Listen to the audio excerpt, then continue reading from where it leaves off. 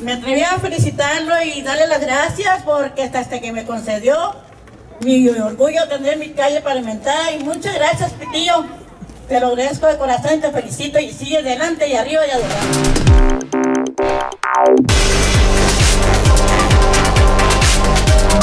Y por eso he tomado la decisión de presentarle a las regidoras y a los regidores aquí en nuestro municipio una iniciativa en donde no más calles de asfalto para Navajo, en donde todas las administraciones que estén por venir ante los navajoenses sean administraciones que siempre y por ley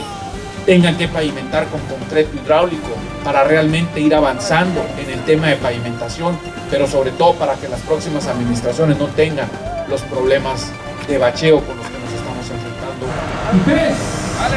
con este aplauso fuerte iniciamos este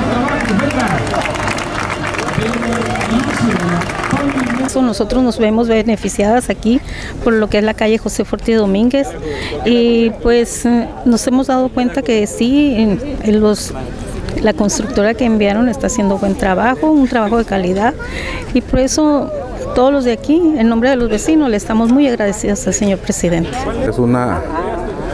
una gestión muy acertada que trae un beneficio social muy, muy grande para toda la, la población beneficiada. Yo creo que esto es un parteaguas entre, entre lo que se hacía antes, inclusive comentando con lo que son pavimentos de concreto, que ahora los está promocionando el, el presidente, promoviendo cuanto a los pavimentos de asfalto.